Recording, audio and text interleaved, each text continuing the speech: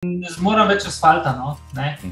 in trde podlage, če smo malce tekaški. No, res, um, pač trail je permanentna okužba. In...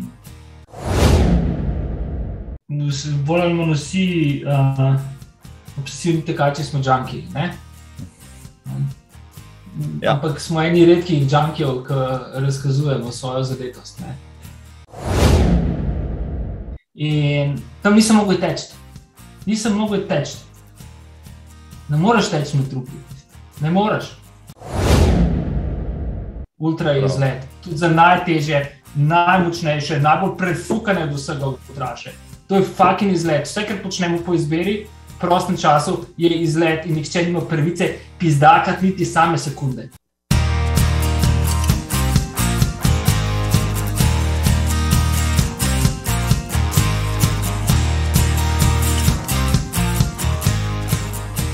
Drago občinstvo, drage, drage gledalke in poslušalci, skoraj že obhajam prvo obletnico vašega najljubšega tekaškega podcasta in za finale, veliki finale, preden upihnem to prvo svečko, še en poseben vrhunski gost, nišče drug kot veliki Boštjan. Vidim še, kdo dobrodošel, Boštjan, živo.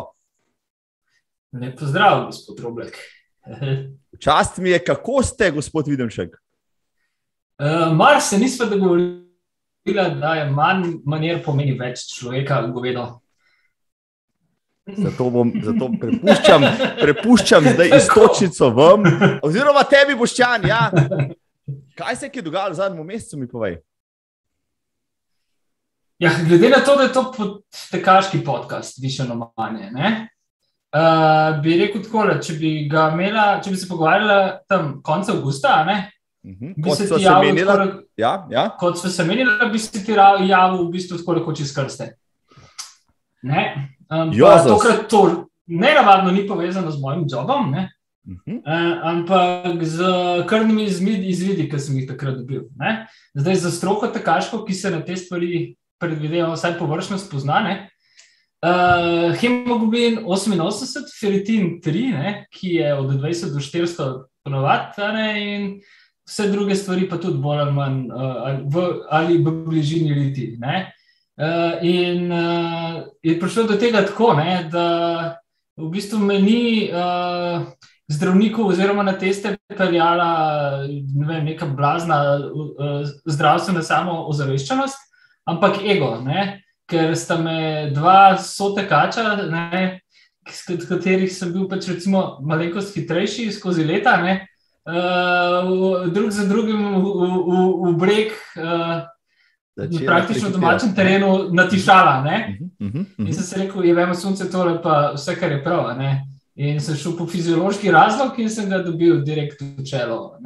Uh, in je bilo pač uh, 5-7 dni do akutne odpovedi jeter, recimo, nič železa, brez veo maksimum uh, naravni trupla po ene treh letih sveže izkopanga. In sem potem šel pač v en proces uh, z železom, žilo, z IVEjo, itd. In uh, zdaj pač spet laufam in se zadržujem nazaj, zato ker šele zdaj se prvič v življenju zares počutim kot uh, ste rekli, dve zdravnici, ne moje. Uh, v bistvu dobro, da še zdaj vem, kaj pomeni se dobro počutiti. Torej, faze je celo življenjske nadkompenzacije. Toliko za uvod, I feel good, dude. Dobrodošel nazaj, Boščan dobrodošel. Zelo dobro zgledaš za uh, pred mesecem, če truplo, ja, vrhunsko. vrhunsko. Stavili so me, se stavili so me. Hvala sodobni medicini, uh, vsem doktorcem, pa tistemu, kar ti je teklo v žilo zadnji mesec. Evo, zato se bomo danes iskrivo pogovarjali o teku in namenoma so se dobila zvečer, da te lahko vprašam, ne če si, ampak kje si danes tekel. Uh, glede na to, kot rečeno, sem še v taki pol-recovery fazi, ne, uh, sem si sam eno malo hitrejšo devetko prvoščil, neč več kot to. Ne, ker je bil vikend mogoče malo bolj intenziven, ampak zdaj sem res, v, glede na to, s kom se v svojih podcastih pogovarjaš, uh, tekaško, posem nevredno omembe. No? Uh, ampak si pa res ne predstavljam, da pač ne bi mogel teči. Zdaj, vsak tek, ki je, ne, je čisti, čisti, čisti užitek. Nobenega napora ni, v ničemer. Ne. In to je totalna novost, po full, full cajt. Se pravi, uh, uh, bi, bi predlagal vsa, vsakemu, ki ima tako podobno izkušnjo, uh, da prvo moraš skoraj vse izgubiti, da poznaš ceniti tisto, kar imaš, ali lahko kaj, kako drugače priješ do tega spoznanja. Ne, nikomu, nikomu ne bi tega, tega predlagal. Ne? Zato, ker uh, veš, se mi zdi, da to, kar se je meni zdaj te, tekaško, telesno, celostno zgodilo v zadnjih mesecih je v bistvu en tak uh, vsota vseh strahov. Rekel, se se sestavlja se, se sestavlja en kup stran, od COVID-a do 30 let vegetarijanstva in uh, izgube najboljšega prijatelja, ki je bil umorjen spomlad, uh, medtem ko je upravljal isti poklic, ki ga upravljam sam. Do, po mojem, samo diagnosticiranih blagih nastavkov PTSD-ja do morbiti uh, pač pretiranega športanja, ki je od sedmega leta naprej, brez prestanka. Ne? Tako da se vse skupaj sestavlja. Potem pa pač očitno eno akutno in tudi kronično netje, ki mi je pobralo ful uh, imunskih sposobnosti in seveda tudi zmožnosti stvoriti rdečih krvničk, torej manj kisika. Ne? in uh, rekel, po vseh štirih uh, na zvoha, ne, na mesto, odkud kot v sprintu, je posledica. To se zgodi tako v parih tednih. No, res je kolaps, ne posrečeš. Uh, ne, um, kaj bi lahko bilo? Ne? Res. Veš, Pomisliš na najhujše, ja, seveda. seveda. Ja, se, se tudi počutiš v bistvu tako. Ne? Sam je ta možnost nekega samozavajanja, ne? na eni strani tudi te okrutne avtosugestije, ne, uh, da bo pač tako boljš, pa razlogi druge, ne, tako prekleto močna, ne, da je nujen zunanji uvita. Ne. Jaz sem ga seveda dobil z tega, tako pač, kaj je sruta defektna, kaj ti je. Ne. Najbolj ga pravi, da so tekača, ki so sicer ohli boljši na dolgih razdaljah, ne, ne pač. Uh, in uh, Če rekel, tako le za zadnje pol leta, me enkrat nisi prehitro, tako vedno pač delovnik intervale si norel, da si se pa tako v zadnjem obdržal, pa skozi nekaj govoril, da rabiš bazo delati. Če se reče, da si, da drekaš po domače, ne? če to prevedemo v resničen jezik, ne? bazo sem delal, ne? pa postal med tem, med izraziti bazičnosti sem poslal, postal ultimativno kisu. Se pravi, spoštovani, spoštovane, vidite, tek rešuje življenja, dobesedno. dobesedno. Posebej, posebej, če imate, včasih smo rekli, kdo rab, sovražniki, če ima take prijatelje ne, in vsi si take ljudi.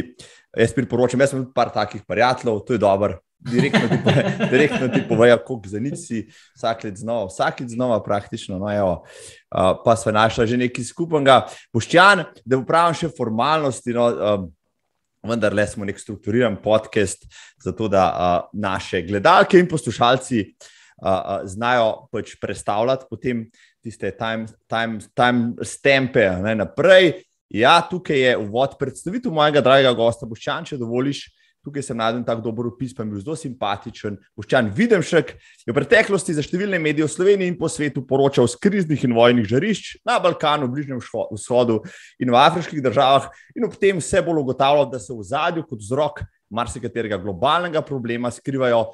In vse bolj jasno in glasno izražajo podnebne spremembe. Teh se je lotil v zadnji knjigi Plan B, pioniri boja s podnebno krizo in prihodnost mobilnosti. Videmšik, ki je bil leta 2015 izbran za mladega voditelja Evrope, je dobitnik številnih domačih in mednarodnih novinarskih nagrad in tudi avtor dveh uh, dramskih besedil.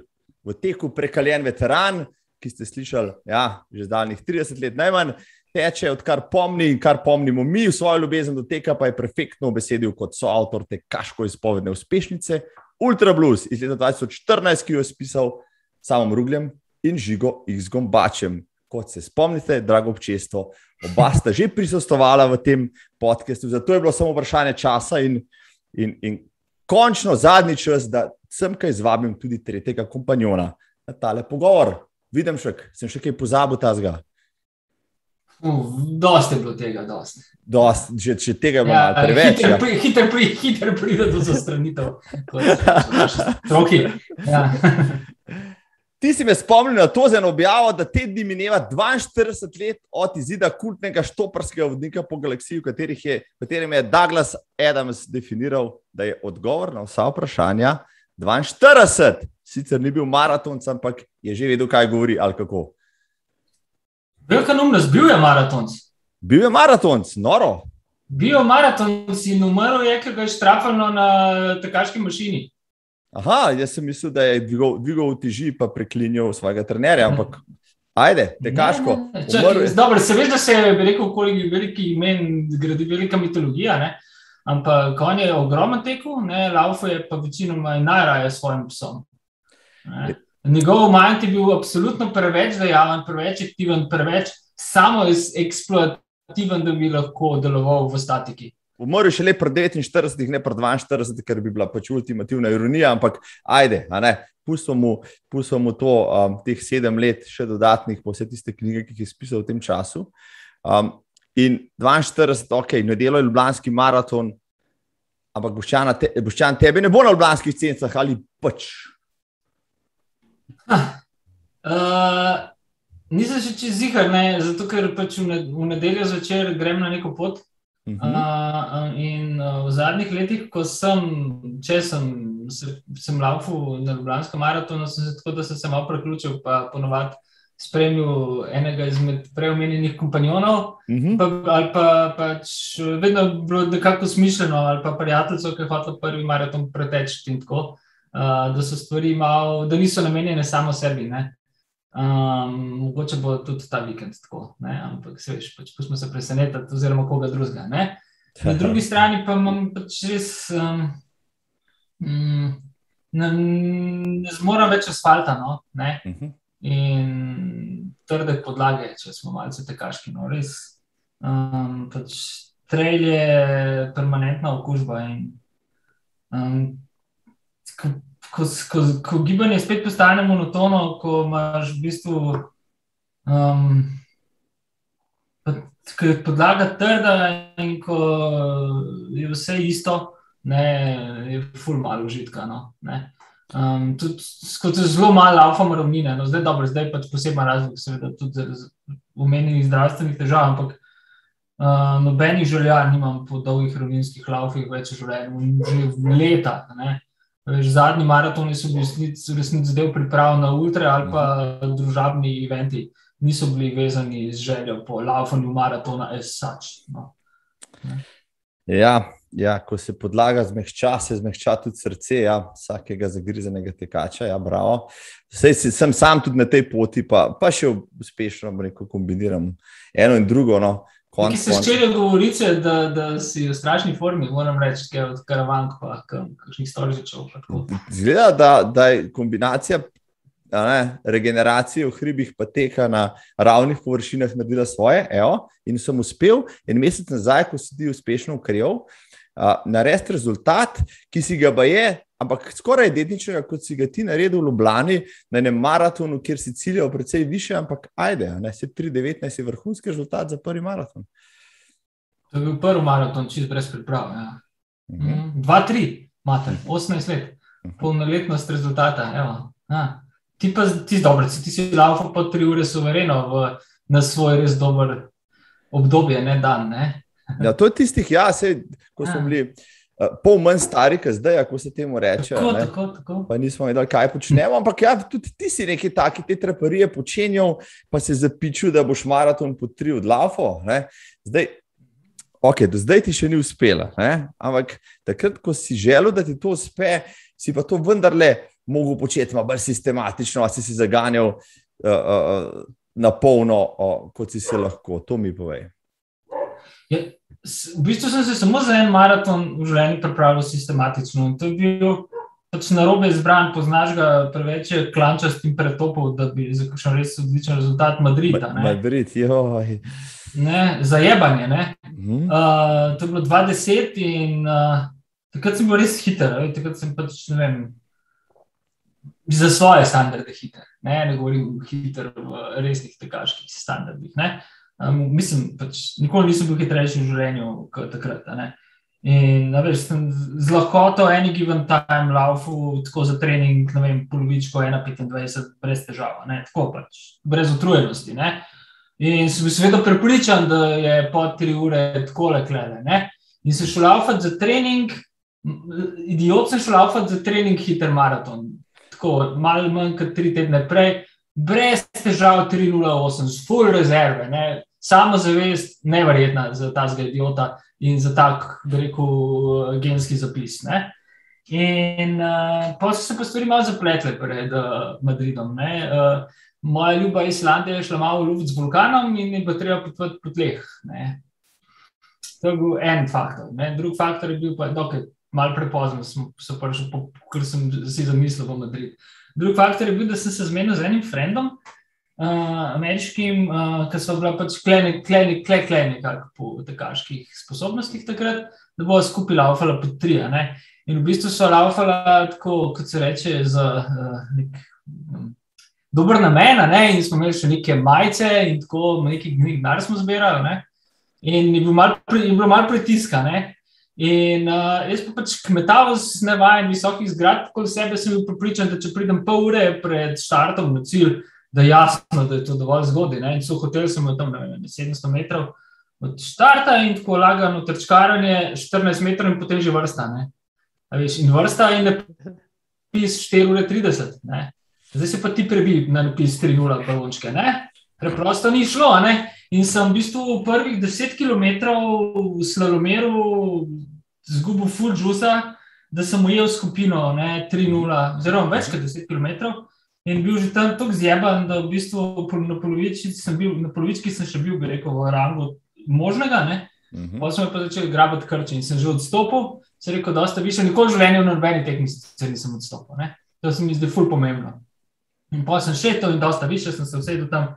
Ne, nisem v telefonu sabo, nikogar nisem mogel poklicati, nisem vedel točno, kje na delu Madrida sem.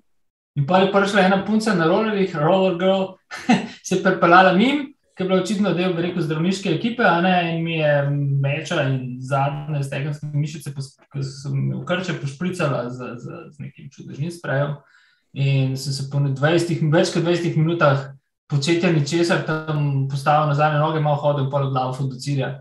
In pač prišel v cilj z 3,49 in iskal prvo drevo, z katerega bom vesel navzdol.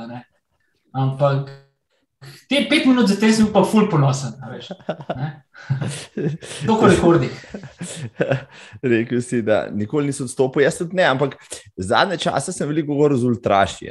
In slej, ko prej v karieri ultraša, pride točka, ko moraš odstopiti, ali pa crkneš, ne po domače povedati. Da mi neki ti povejo. Ne? Zato mogoče nahodiš na dirke, ker bi slejko prej prišel do tega momenta in bi se mogel odločiti med biti ali ne biti, ali pač nahodiš na dirke, ker ti je to pač manifestacija eh, enega, enega razkošja, pa, pa dekadence, ki jo res ne rabiš. Eno na drugo, oboje je v bistvu anti-argument. Um, pri teh rekel, pomembnejše odločitve sem sprejemil, sprejemam izven športa. Uh, in uh, pač, glede na to, kaj sem počel, kar so leden del življenja, ne, je to veliko tudi zelo fizično resnica. Um, uh, so v bistvu, uh, sem se že v življenju igral druge in uh, tega nikoli nisem razumel kot, če, v, v nobenem kontekstu kot karkoli ekstremnega. Uh, na drugi strani, um, pa trailov, za razliko od cestnih maratonov, ne, ki jih pač v resnici obožujem, ampak oddaleč me bolj motijo kot blizu. Uh, ker so res, to je res vedno lepo ne, in vedno je bilo lepo. Pač. Ne pravično bi reči, da bo drugače. Ne. Razen tega pač korporativnega okvira, ampak tukaj je zdaj to praktično nezgrešljivo in ne, je to cajtgeist. Ampak uh, traili so pa nekaj drugega in se mi zdi tudi odnosi med ljudmi na trailih, tako neki topoga tovarištva, to enega humorja, ki ga je na trailih, mislim, tudi da je sedem znamo, še ni pol mini bil sposoben producirati. Tam jezik se spremeni, gibanje se spremeni, dialogi so čudoviti. In v bistvu um, je tak, um, v bistvu je neka taka telesno-umska orgija kolektivna lahko. No? Ne, ne vem, pač, Orgije si seveda predstavljamo kot nekaj drugega, ampak meni se treli in tako zdijo največji približek nekega kolektivnega lepega fuka. No? Um, tako nadspolnega, izhod izven telesnega. In tudi, tudi ta, um, in za razliko od kakšnih drugih športov, ne, um, Trejli imajo vse to, kar v bistvu najbolj se tudi maratoni. No? Najbolj cenim. Uh, ne bom rekel jih odpovedovanje užitka, ampak kaj, delayed gratification. Ne, uh, kako bi rekel, uh, ne oddaljena, ampak taka, ne, malo. Pač, ne, ne, ni skregano je z današnjim trenutkom, ne, ko je s tem. Uh, patološko skrajšanim attention spanom, s pozornostjo, z, z neko strahovito, globoko bolezensko željo po takojšnji realizaciji, po takojšnji gratifikaciji, po hitrem cukru, tako ali drugače. Ne? In treli, pri trelih je potrebno tako enormno veliko odložiti, odložiti ne, to gratifikacijo da, in hkrati van, vanjo vlagati, da v bistvu uh, tisto, kar od njih dobiš, tako dolgotrajno, vsaj moja izkušnja je taka, tako samo in sploh zapolnjujoče, da v bistvu kar nočeš iz tega občutka zbežati. Ne? In ali so to tekme ali niso, ne pač stvar uh, osebnih preferenc.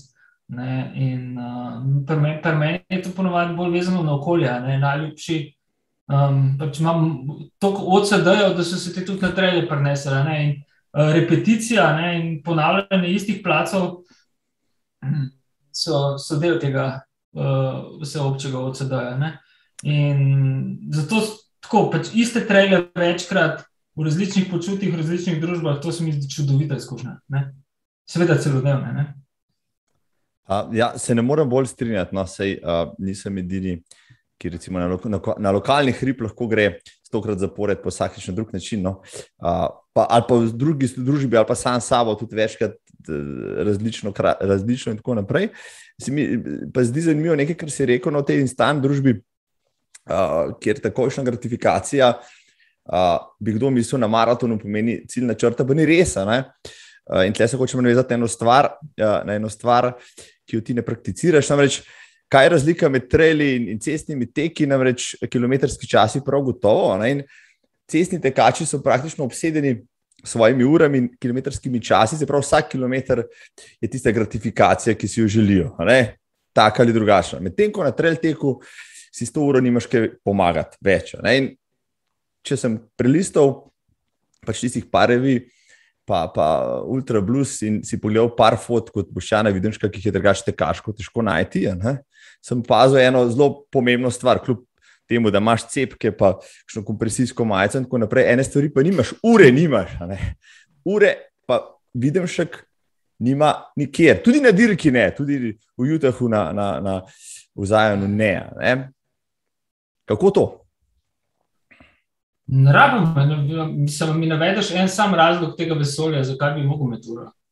Prav, prav. Evo. Mislim, ne, ne, ne, tudi, veš, tudi, tudi na maratonih. Poleg tega imam že odmehnega, no, tako, uh, ni to talent, ampak je v bistvu mali, ko malo brojke in slova obsesija. Ne?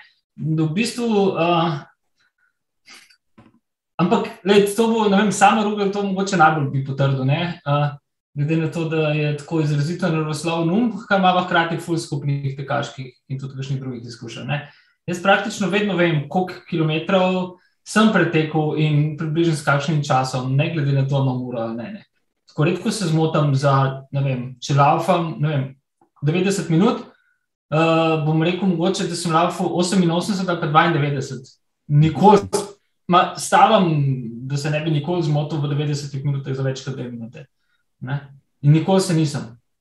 Ne? Ampak uh, pač se, veš, čas ti ne mer samo ura, ne mer ti ga en telesen občutek, uh, meriti ga puls v resnici, ne meriti ga počutje, meriti ga pa predvsem izkušnje. In, um, ne vem, zakaj bi rabo to potrebovati še z uro, tudi v zasebnem življenju. Izven tekaške, izven športnega, nikoli nisem imel ure.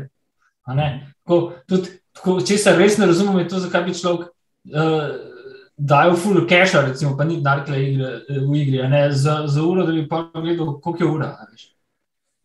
Tako, to se mi zdi v bistvu neke take vrste nakit, nekaj tazga. V bistvu se mi zdi to uh, linija med Notre Dameom, Eiffelovim stolpom in uh, piramidami. to je najhujše, kar je človeštvo produciralo. Kretenizem kot tak, kaj je naredila civilizacija? Upis do mater v nebo, popolnoma brez kakršnega smisla vsebine in jedra strmeče objekte, ki so nastale na človeških truflih. Fakov, ura, draga ura, kakršna ura je enako. Ne? Jebeš linearnost. Ja, e, na koncu koncev, kaj pa sploh mer ura? Ne?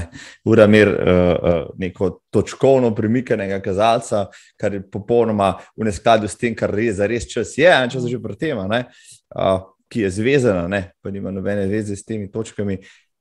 In tako kot si rekel, jaz, jaz sem dolga leta, uh, nisem posedoval ure, pa sem šel doma. Sem pozival tisto uro na sten, da sem približno vedel, kdaj grem, pa pozival, ko sem prišel nazaj, da se vedno kdaj moram iti po otroke vrtec, recimo, in to je bilo to. Potem so me lansko leto upremali s kosom te, te uh, rekel, plastike in, in uh, grafita, ne? in zdaj pač se s tem ponašam, pa mi je že kar težko, včasih. Pa sem jo polomil, jasno, ne? pa sem en mesec brez nje, pa potem nisem objavljal teh svojih časov, tam, kjer vsi ostali, pa sem mislil, da sem zbolel in tako naprej. Uh, Koliko samo kvantifikacije dejansko sploh danes rabimo, ne, da obstajamo. A, a dejansko res, če ni fotke na Instagramu, na Facebooku ali pa na stravi podatka, zadeve ne obstajajo, je bemo sunec. Kaj ti misliš? Mah, ne bi generaliziral, ne veš, pač, tako je ta občutek, ki ga imaš ti. Toliko in toliko naslednjih urah, po enem lepem, lepem lavu. Endorfini so tvoji. Uh mhm. -huh. Um, in tisti, ki so v naslednjih urah, če so v tvoji družbi, ne, pač si veliko boljša družba, ko te delujejo. Um, vsi, pač, bolj ali manj vsi, uh, obsesivni tekači smo džanki. Um, ja. Ampak smo eni redkih džankijev, ki razkazujemo svojo zadetost. Ne. Tako da um, ne vem. To je še veliko hujše kot sam uh, uh, nek, neka doba selfizma, ne, rekel, uh, diktatura setka, ki uh, gre tudi za, po mojem, fino biokemično motnjo. Mhm. In uh, seveda se ta širi in je vse prisotna, in jasno, ne, pač vsak lep vikend, ne, glede na to, kako si gradimo svoje socialno okolje na državnih, pa celo v resnici socialnih omrežjih. Uh, imaš občutek, da praktično vsak človek, ki ga poznaš, je uh, neka zmes, ki je na Džuneja, pa ki pčogeja. In uh, to je zelo podobno številnim portretnim uh, fotografijam na socialnih omrežjih. Pač ponujamo podobo. Uh, uh, neke želje sebe. Ne? Uh, v bistvu iz sebe delamo marketinški produkt, uh, tržimo se. Ne? Zdaj to delamo vsi na, tak, na, na taki ali drugačni ravni. Uh, zdaj, do katere mere greš, uh, da, da je to okusno, je pa ful težko določiti, ne? zato ker je to res skrajna subjektivnost. Ne? ne morem jaz reči, bi rekel, uh, žiga šel si predelač. In žiga meni tudi, verjetno, ne bom več tega ne more reči. Ne? Uh, ampak oba veva, da so to naredili. Uh, ampak zaradi tega, ker veva, da smo oba približno ista kretena, uh, pač si tega ne povejo, vsi verjete. Uh, ampak uh, tu, ni, tu ni svetih krav, se mi zdi. No, če, že, če pa so svete krave, imajo pa tako željo po tej svetosti da se jim pripeti nekaj, kot se je meni pred štirimi minutami, če smo pa imeli nekaj časa, uh, ta, eskap, eskapada o uh, odpadništvu iz uravnilovke. Veš, konc koncev, ne, da, da pride do antiteze, ne, uh, samo upisal malo prej. Um, to soboto ne, sem si izrazito želel laufati na križko, iz Tržiča, uh mhm. -huh. zato ker sem to poletje um, pač zelo, zelo slabem fizičnem stanju, šel dvakrat zapored in sem imel dvakrat zapored pač zelo slab čas, ne, približno, a ne obakrat ste ga merila, so tekača. in uh, se mi je zdelo, da bom zdaj videl, kje sem res po tem, kar sem železo faso doživel. Uh -huh. Je proper junkie. Ne? In uh, sem gor pogledal na mobitel na uro, a ne na spot. Ne? Tako da sem dejansko imel čas. Tist, v bistvu sem se ti zlegal in sem vam direkt toksik, da tega ne delam. To sem naredil to soboto, ne? ampak brez ure. Ne? V resnici pa isto, samo čas sem zmeril drugače. In ko sem videl rezultata, smo skupaj s psom, ki je to je resen dosežek, še bolj moten od mene, odplesala nekih zelo srečnih krogov. Ne? Um, pa sem jih poslušal od žene, ne, fucking kreten. Ne, tako boš porabil vse, kar si dubu. Uh, res je, da sem jo čakal pol ure, pa sem že blago kristaliziral tam gor. Ampak, ne, uh, um, kako ne rečem, uh, rezultat me je navdušil ne, in ta se je meril ja, v minutah, ne, ne samo v počutju. tako da, it's still there. No, no, kako pa ubiti to? Ti mi povej, ti si star v tej zgodbi. Kako ja, ubiti ja. fucking potrebo po rezultatu v Telexu? Ja. Kako to ubiti? A vidiš? Ja, no, zdaj ti bom tako povedal.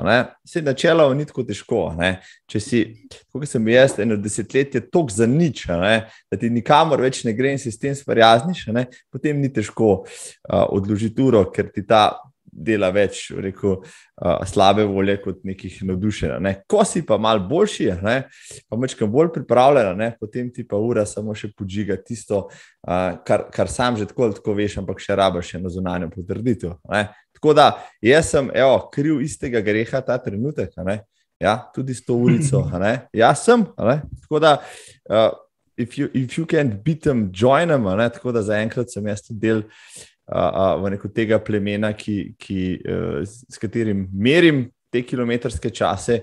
Ajde, ne, dokler, dokler to ne. Uh, Uh, uh, mene ne obsede, ne, pa me ne obvladuje, pa jaz še to obvladujem, to je v redu. Ne.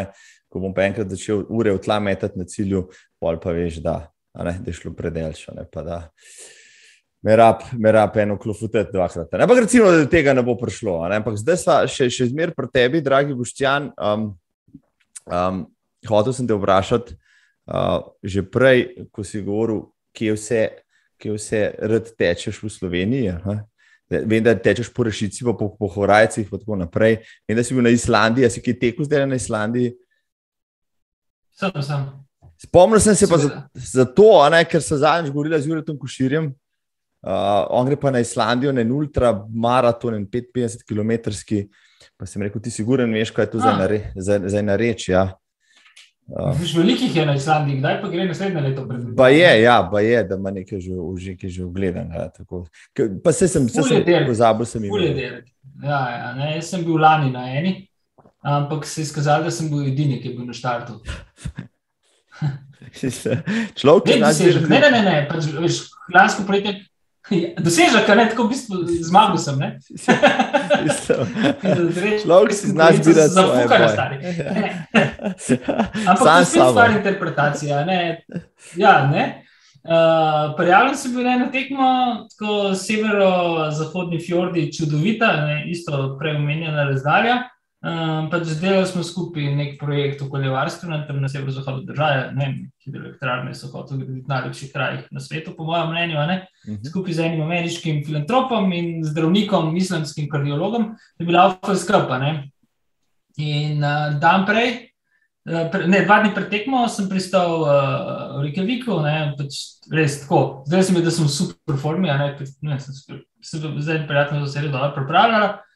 In uh, tako, res, kar stru, mogoče bolj strukturirano, kot kadarkoli v življenju. No, pa, se veš, lani pomladi, pač v času zaprtja, ne, bo treba kaj početi.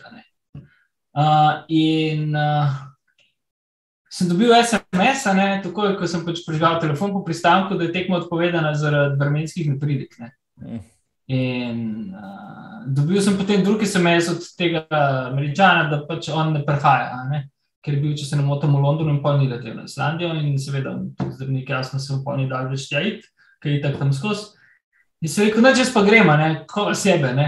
Če sem že sem prišel in sem se čisto zaljubil na krajino, ker sem študiral traso in sem rekel, grem in sem šel tja in sem bil tudi edini gost v hotelu.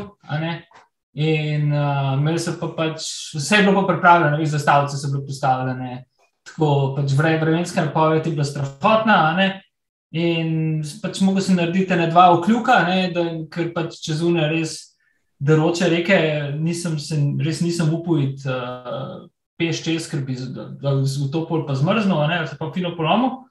Ampak sem naredil tistih slabih 55 km in se res počutim mogoče boljš, kot pokeri kot drugi tekmi. Zato, ker je bilo to, ko vera, veš, tako, tega pa ne boš, tega pa ne boš, tako, ne, ne, bom, bom, bom. Če kaj ne prenašam v življenju, in to je pač posledica odraščanja v bolnici in tiste zafukane fašistoidne v osnovne šole, ne, ki je zatiralo vse, kar je izstopalo, imelo kar polička talenta, kjerkoli smer, je bilo tega ne zmoreš. Jebite se, zmoram.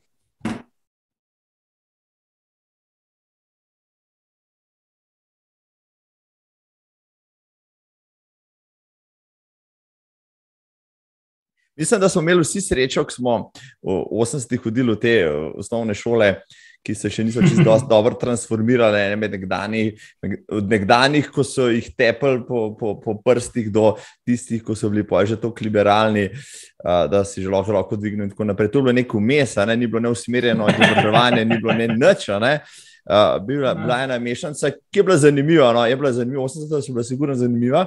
Naučili se tam nismo kaj dost, to je res. Ampak smo se pa naučili, kje se pa lahko naučimo. No? In tudi ti si bil. Bolj kot šolo si bil obseden s mučarijo, pa s uh, futbolom, če se ne motim. Fejkov si, si bolezen, da si lahko gledal olimpijske igre, uh, ali pa da si šel smučati ali pa futbol nabijati. Tako. In to skozi in to skozi. Poleg tega, da si bil ja. še, uh, še bolj šibak, kot vsi ostali, bil si astmatik, slabšo pljučno kapaciteto, bog pomagi. Kdo bi si mislil, da bo s tebe še kdaj kaj v športnem smislu? Kaj še drugače? Je ja, pa se v resnici nikoli ni bilo kaj za res. Zdaj si izkazal, da je bil še en razlog. Za to pač ta dolgotrajna silovita alergija na gluten. In če si praktično tri četrt življenja plus vegi, ne, ti pa ostane, ki je dosti hrane več, težko dobiš beljakovine nazaj. In pol, vem, ti pobere z, z ultralafom, tako kot meni, 10 kg mišične mase in pa res ne zgledaš zdrav, tudi če si v, učitno v full formi. Uh, lej, vsi imamo pač neke, neke deficite, ne? pa pač nekje druge dobiš več nota. Ne? In Meni men se zdi, da je to bilo totalno darilo. Seveda bi si želel, po koncu dneva, ne? vedno bo tako verjetno, menjati vzdržljivostni talent, ki ga ne, nesporno posedujem tako ali drugače. Za uh, en kup hitrih mišičnih vlaken, ne? ki bi mi omogočila, mogoče tisto, kar sem si zmeraj želel igrati v drugi turški ligi. Vsaj, ne? neko vsaj približno respektabilno za to okolje. Uh, uh, nogometno kariero. Pač zdaj najboljši igralci slovenske nogometne lige hodijo v turš, drugo turško ligo špilati. Tako nizko smo pa padli. Včasih so v drugo avstrijsko, ja, se to je res. Ja. ja, ampak tisti, ki so pač v prvi in drugi tle niso mogli zares igrati. Uh -huh. Zdaj govorijo, ne, Nino Kowter, Mura in potem Marisa v Turčiji. Ne. Ampak ja, ne. Uh, Nadkompenzacija, nadkompenzacija, nadkompenzacija, to ima svojo ceno, ne? zato ko nosi v sebi skozi neko tako, precej agresivno z nastavki samodestrukcije, uh, um, samo svojo pot. Samorastništvo je super, ampak nikoli ne more biti v celoti trajnostno. Sam, če, če, če ne. In če uporabljam jezik svojega, svojih zadnjih nekaj let novinarskega zaspavanja. Uh, sama preskrbnost je lahko zelo uničujoča, ne? zato ko postaneš sam sebi merilo ne? in hranilo ob koncu dneva. V mojem primeru je to zelo dobesedno, glede na to, da sem postal samolet in v manjku nosa primernih uh, hranil začel navoditi samega sebe. Uh, to je lahko uničujoče. No? In klep bi rekel, tako kot kakšne. Uh, kakšna anoreksična, pa bolimična dekleta, ne, uh, upravičeno in z neko vrsto identifikacije, ne, uh, lahko ponudim kakšen svet, not go there. Ne. To je zelo zajebano temačno mesto. Ne. In uh, poznam nekaj tekačev, ki se mi je to zgodilo, uh, ne nujno tako izrazito, transparentno in zajemno, kot se je meni, ampak uh, to, je, to je past, to je, to je silovita past. Tako zelo hitro je treba vedeti, uh, kdaj to postane obsesivno-kompozivna motnja. Ne. To je res, pač, to je, to je, to je, to je bolezensko lahko. Ne. In uh, veš. Mislim, če se mogoče bi lahko temu namenila dve, tri minute, ne pa bi ti pač te novinarski refleksi, jaz kot tep, kot super izkušen tekač postavil vprašanje, ne pa reflektiranemu posamezniku. Kdaj in kako je tebi odseda teka, ne? kaj vse počneš zaradi tega, kaj pri teku, uh, veš, od, ena od poddefinicij odseda je, uh, da je to uh, racionalno, zavedno početje iracionalnih stvari. Uh, kaj drugega je, so dolgi lauki, kot to. Ampak, uh, kje, kje je zate te kot sedaj? Pri meni je praktično vse, razen avtokanalizacije, ki pa itak izhaja iz to, kot sedaj, da je bila nujna in je nujna v enormnih količinah. Um, no, no, vidiš, jaz, jaz recimo. Ne, rešujem ene tri lejerje tega OCD-ja na svojem teku, medtem ko jih ti recimo nekaj 17. Ne? Ta izkušnja me recimo, recimo primankuje. Ne? Oziroma, ali pa ne, se jo ne pogrešam v končni fazi.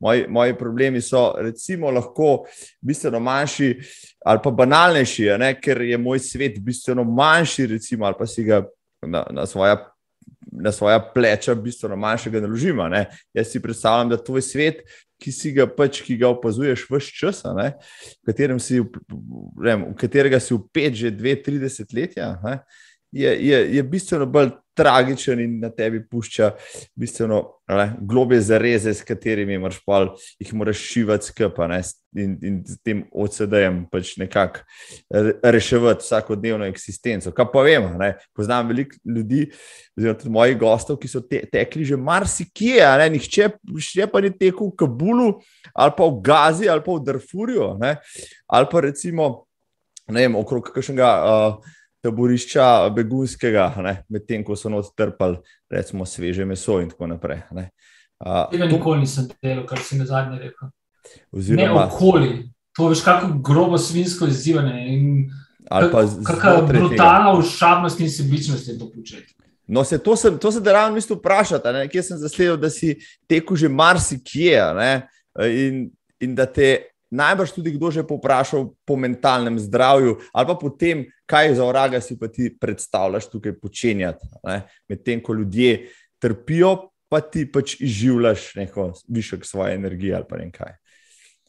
Fair enough, no, to, to, to je, to je do, dobro izhodišče. Uh, nikoli nisem šel laufati tam, kjer bi lahko prekomorkoli zbujal eksistencialne skomine. Okay. Ali pa se izpostavljal uh, v skoraj nekem imperialno-kolonialističnem, psihofizičnem outfitu. Če, če bi to kdaj naredil, najmanj prvi uh, človek, ki gromine, mimo mene nosi orožje, point blank, ustrli v srce, ne? ker drugače bom sam. Uh, to sem pač počel stran od, uh, nikoli, ali pa redko kdaj direkt in your face ne, pred ljudmi, če pa že, pa recimo na primeru Kabula, ne, še daleč, če sem bil tam edini, ki je laufo, ne, um, pa tudi kakšnih drugih mest.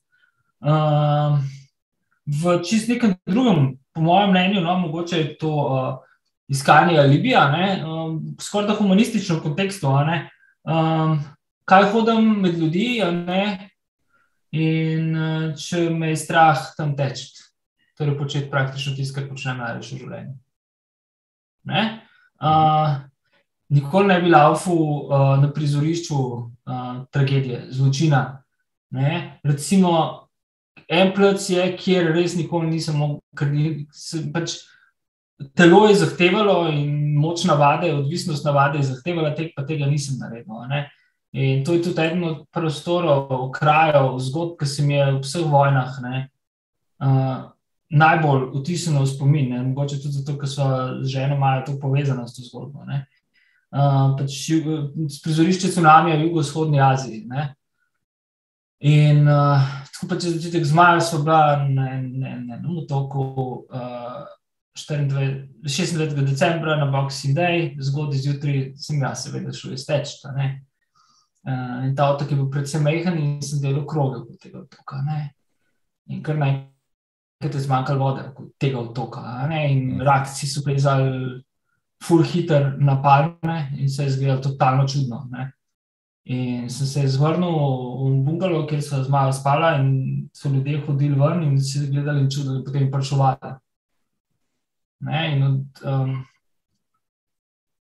utopilo je devet okoliških otokov, ne, in kar nekaj ljudi tam okoli nas je umrlo, ne na našem otoku, nas so evakuirali naslednji dan. Ne, ampak meni je bilo strašno težko iti domov, ker se mi zdi, da pač srž novinarskega dela ali pa novinarskega dela, v katerega sem verjel, pa se še približno verjamem, je, da pač novinar, takrat, ko ljudi evakuirajo, morajo novinari priti ali pa novinari ostati. Um, novinarje vse ne evakuira. Ne? Um, imamo druge naloge. Ne? In nas so evakuirali, ni bilo druge izbire. Ampak še predtem so nas evakuirali, to se je dogajalo zelo hitro, pač v 12 urah, ali 20, ne spomnim se točno. Uh, sem pač na roke, ker na roke sem napisal, da nisem računalnika samo tekste o tem, jih pošiljal, da to objavljeno v delu, sem se podpisal s tedanjim urednikom Darjem Košerjem. In uh, sem tu dobil zeleno luč, da takoj, ko pridem domov z Juritom Mreženom, ki so ga dolgo leta pač terenski par fotografom, uh, ne mudoma odideva v Bandače na Sumatri v Indoneziji kjer je umrlo daleč največ ljudi, več kot 180 tisoč ljudi. Je od 220-225 tisoč ljudi, ki jih je umrlo uh, v tsunamiju 26. decembra 2004. so pač odšla tja in so prišla tja in so prišla tja, ko so bile trupla najbolj živa. Ne? In uh, to je bilo pač vse razsuto pod vodo, trupla so bile posod in tako so spala um, v eni družini. Je bilo spodnje množično grobišče. In nočno grobišče, kamor so vse čas bagri nosili sveža trupla. Ne?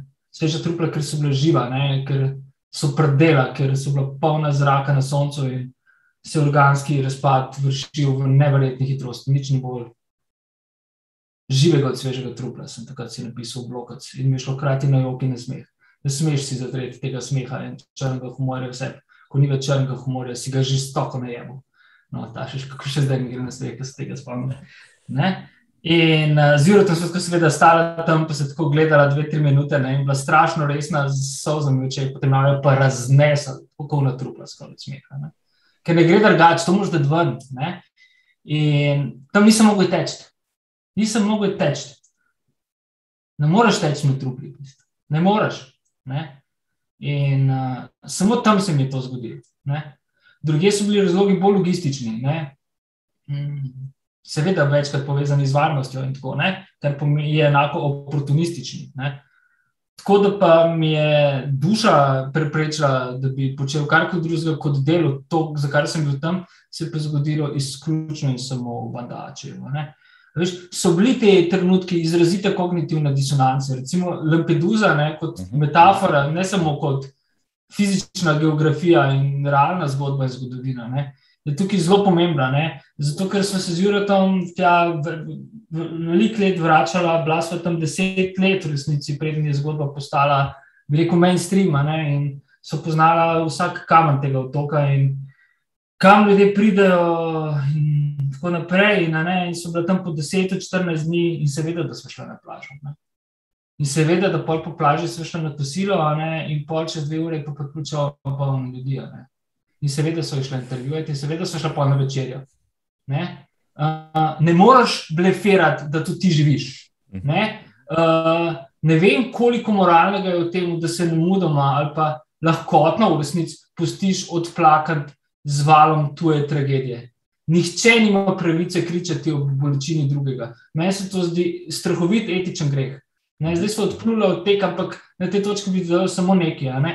Tako, zelo sem razčistil s tem, leta 2004 v Darfurju, ne, ravno na nekem begunskem taborišču, ko so bila s pokojnim prijateljem Davidom Berjajem skupaj, tam edina tvoja novinarja. Ne. Uh, pač neka gospa v zelo, zelo slabem fizičnem stanju ne, uh, je dojila, poskušala dojiti na pol mrtvo deklico. In uh, humanitarni delavci in delovke, okolja, ne, bogi reveži niso mogli zadržati sosa. ta gospa je to deklico v strahotnih okoliščinah, v strahotnem fizičnem trpljenju, dojila v strahotno dostojanstvenem, ponosnem in predanem življenju, kot takem lojalnem občutku. In mi je bilo s to sliko, pa sem bil seveda bistveno mlajši in sem imel manj urodi za razumevanje človeštva in sveta nasploh, se mi zdi, da je nekaj noro narobe. Ne? Nisem rekel, pizda, ne, nikoli ne boš kradel tujih emocij, zato da, boš, da bodo tvoje močnejše. Je bi se poštevno. Uh, rasti, rasti, gledaj, zadrž se, zadrž se. In uh, se mi zdi, da je ta samomejevanje tudi pri jemanju bolečine drugega na svoje pleča ključno. Pri tem, da se recimo, samo kar sem seveda doživel, videl, da se nisem zlomil da si, v bistvu, da si preživel. In zdaj mi nekaj mi pove, no, potem se mi poraja na vprašanje. Okay, tek je integralni del tvoje eksistence, jasno, ne, brez tega bi umrl. Ne, ampak včasih se zdi, ja. da tečeš na ta način, da bi pa rad skozi tek. Poginil, da se tako matraš, ne, da je to ne, tek tudi en tvoj način pokore, pa samo očiščenja, pa ne vem, morda uh, dejansko dejanja, polaganja računov za tisto svojo obdobje, ki ga pač vsak trenutek imaš na razpolago, pa ga ne moreš razdeliti ne, drugim. Tudi to gotovo, ne, imamo neko tako, ne bi rekel, samo kaznovanje, ne, ampak veš, kot v šinitski teologiji ne, uh, in pri bitki pri Karbali in smrti Muhamedovega načaka Alija. Ne, uh, obstaja pač še vedno to ritualno, uh, kar se v šolah reče, ne, uh, bičanje, ne, kolektivno in samega sebe. Ne, pač, ne. Mm, seveda to na nek način počnem, ne, ampak tako ne, da ti to delaš skoraj malo z semi-erotičnim pristopom, ljubko, kolega. ampak ja. um, Uh, gotovo je nekaj tega. Ne? Uh, ampak po drugi strani pa pač bi bilo strahotno grdo reči, da se to po posadu mazo vstopi, ne? če so že pri tej uh, semi-erotiki. Um, to, to ne bi funkcioniralo in bi bilo zelo kratkotrajno, ne? ta samo kaznovalni ali pa samo očiščevalni proces, če ne bi bilo pri tem kar nekaj užitka ne? ali pa večinoma užitka in te že prej omenjene, odložene, pa vendarle takrat, ko je prisotna silovite gratifikacije. Ne? Problematični so v resnici te, ki so sami sebi namen. Uh, to kot vse v življenju, od relacij do, do konc koncev dela, ne? zapolnevanje praznina. Ne? To bi rekel, tisto, kar je samo sebi namen, je po mojih izkušnjah v bistvu odrivanje bolečine, ne soočanje z njo. Ne? In uh, pri teku je pa krasno se z bolečino soočati in to ti ultra dajo. Uh, to, da v bistvu uh, ne samo da dvigneš svoj bolečinski prak, ne? to je v bistvu zelo simpel narediti. Pač uh, greš se tetovirati, ne prvič, pa že pri globi igli je prvi ubod pičkin dim. Uh, pač bolečinski prak je v bistvu iluzija. Tisto, kar je drugo, ne, uh, je, da uh, se z bolečino naučiš živeti. Ne, je ne odganjaš stran, jo spremljaš kot nek integralni del svoje osebnosti. Uspeš se spet pri nadkompenzaciji, če ne celo pri nekih transferjih, ne, uspeš prevesti v, v gonilno silo, mogoče celo uh, nasloviti z vsebino, jo spremeniti vsebino, no, jo uh, narediti kot ne kot prijetno eksistenco, ampak jo preliti v esenco. No, in uh, to potem v bistvu pomaga zgraditi, zdaj si improviziram. Veš, to pomaga zgraditi v, v, v, v um, nek karakter. Ne? In na tej točki se ne strinjam s Heraklitovo tezo, ne? da je karakter usoda. Ne? Zdaj, mi, če se navežemo na to, kar si zdaj le tako izvrstno izpeljal, ali je lahko bolečina, da je pol tako perverzno dobra, ne? da uh, v bistvu. Slišiš se?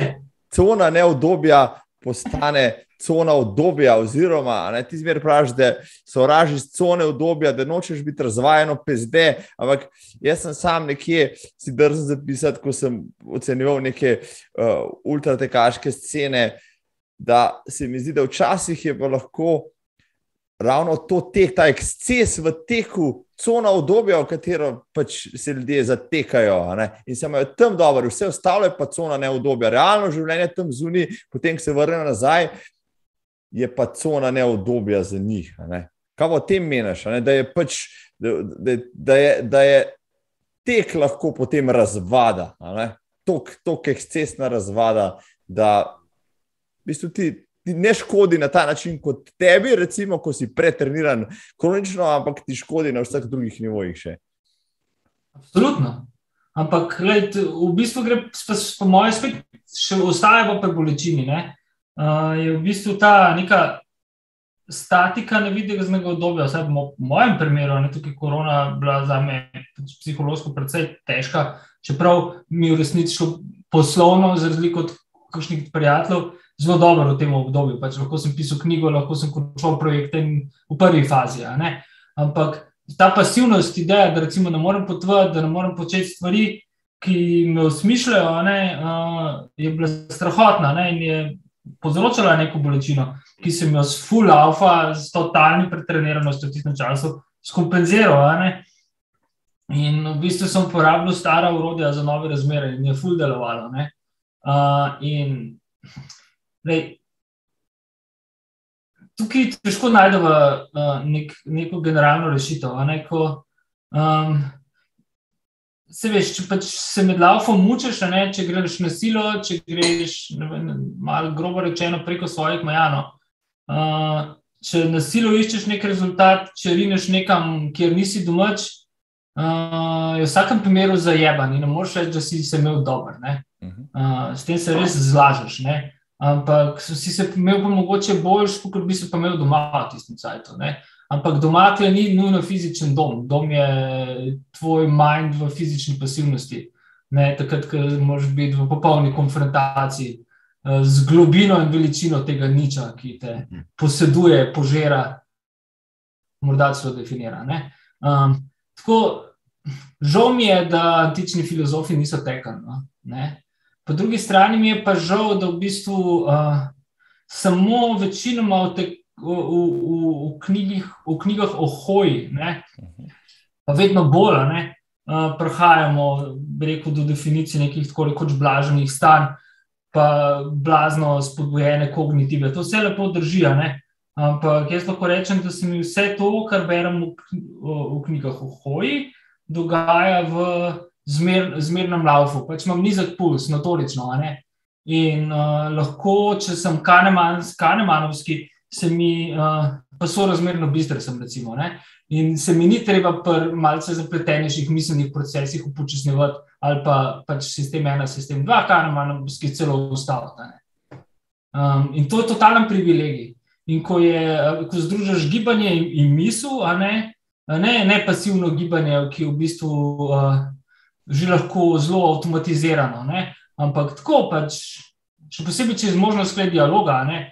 Ne vem, če sem z enim drugim prijateljem na dolgem teku in se v bistvu vse čas lahko pogovarjava, ne da bi bila zasopla, se mi to in je ta pogovor smiselen, se oba počutila potem ne samo blago, prijetno, utrujen, ampak tudi pametneje. Se mi to zdi, morda poleg ljubezni v vseh oblikah najbolje potraten, ne, na robe, vzamem besedo nazaj, najbolje izkoriščen čas, nikakor ne potraten. Kakšen ogaben lapsus.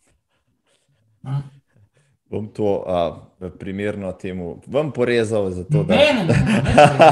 ne, ne, ne, ne, ne. Kakor ne, vse bo v tem. Ljudem, se... ki smo profesionalni v medijih, ne, ne, ne, ne bi imeli nobene pravice, da bi niti besede, niti kletvice izrezati kjerkoli, kadarkoli. Tako, to sem hotel. Sami nadziramo svojo naracijo, smo pa kreteni prve vrste sami nadziramo svojo naracijo, kot si ti, da se zdaj navežemo na, na, na tisto, kar bo tudi ljudstvo tam zunaj zanimalo. Ne? To težko buklo, bilo 450 strani, menda je bila v startu, bila 600 ali še več, pa vas je uh, Renate komaj da pripričala, da ste porezali to svoje bogato opisovanje. vašega projekta, ki, ki je v bistvu pripravljen na 100 km tek, 100 km tek, za katerega danes poprečno ultraš odmahne z roko, kaj pa je treba okrog tega govoriti. Da lahko da, ne, 450 stvari nekdo popiše, nekdo drugih more pa brati, ampak vendarle, tukaj noter, tukaj noter ste vsak prispevali svoj del, tvoj je bil morda po tistih tvojih prvih treh knjigah, ki so bile, ki so bile bolj družbeno angažirane, zdaj pa, zdaj pa kar naenkrat prideš na neko izpovedno raven, ne? čist, čist drugačen. Tle si, bil, tle si pa dal duška, tle si res neposreden, brutalno udaren si, no, direkt na gobec so me sekale, kakšne tvoje uh, pasaže tam ven iz, iz tizga. Um, kako se ti je primerjava, recimo, pisanja prej, pa pisanja tega le tukaj? Pri tebi ne, dogajala. Ne? Kot novinar bom do sodnega dne ustrajal pri tem, da se novinarstvo konča v trenutku, ko novinar slash avtor postane zgodba sam. Uh mhm. -huh.